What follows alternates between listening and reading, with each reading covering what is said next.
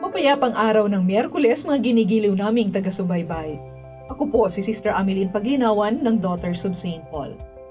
Salubungin natin ang araw na ito nang may puspos ng pasasalamat at pag-asa sa walang hanggang paglingap ng Diyos sa atin. Gaano tayo kahanda sa pagdating ng Panginoon? Panawagang maging handa. Lagi ang hamon ng mabuting balita ngayon.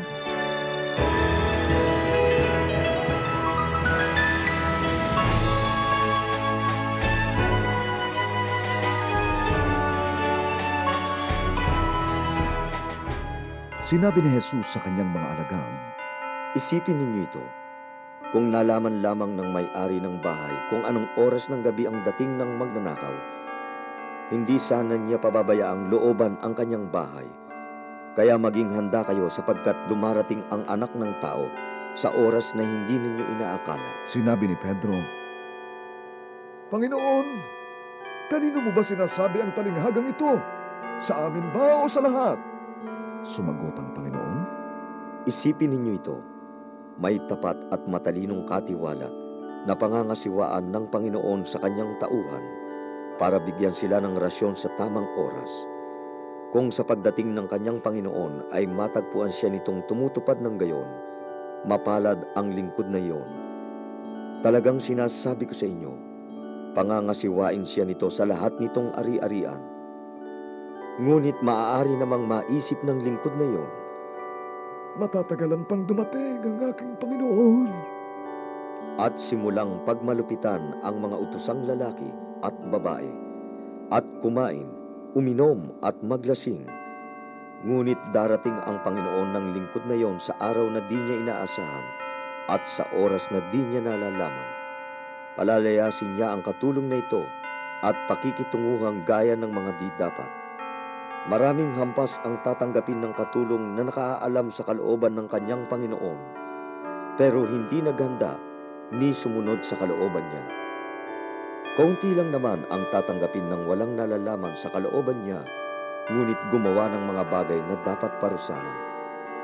Hihingan nga ng marami ang binigyan ng marami, at hihingan ng higit ang pinagkatiwalaan ng higit.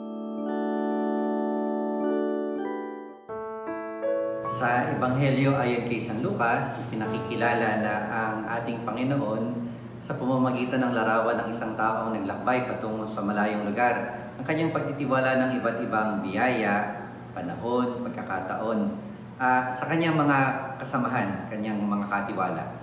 Pero ang mga taong ito may kanya-kanyang pamamaraan upang gamitin ang mga ipinagkatiwalang biyaya ito sa kasamaan man o sa kabutihan. Sabi nga, anything that we do here on earth has its echo in eternity. Sa pagbabalik ng Panginoon ng mga taong ito, makikita niya ang mga taong gumawa ng may katapatan sa kanilang mga tungkulin. Meron ding ilan na hindi ginamit ang panahon at pagkakataong ito at ginamit ang pagkakataong ito para magpasasa sa kanilang buhay hanggang sa masaktan, bugbugin ang kanilang mga kasamang mga katiwala. Anything that we do, we do here on earth has its echo in eternity.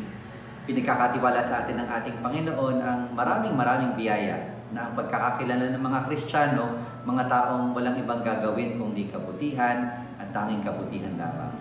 Pagpupuri sa Diyos at paglilingkod sa ating kapwa. Marat na nawa tayo ng ating Panginoon sa kanyang muling pagbabalik, mapabilang sa mga katiwala na may katapatan at ginagampanan ang tungkulin pinagkatiwala sa kanila ng ating. Pagpalain tayo ng ating Panginoon. Isa na namang pagpapahayag ng mabuting balita ang inyong napakinggan para sa araw na ito. Pakiisa sa aming misyon, maging tagapagpahayag din ng mabuting balita sa pamamagitan ng pag-like, pag-share at pag-tag ng videong ito. Sa inyong mga prayer intentions, reactions o comments, i-message lamang kami sa Paulines Radio PH. Para sa inyo na masugid naming followers, sa mga labis na naapektuhan ng pandemya, sa mga may sakit ng COVID at ng iba pang may karamdaman.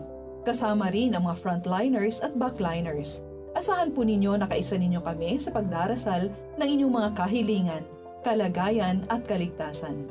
Muli po, ako ang inyong kapanalig, Sister Ameline ng Daughters of St. Paul, na nag-iiwan sa inyo ng mga sipi mula sa aklat ng mga kawikaan.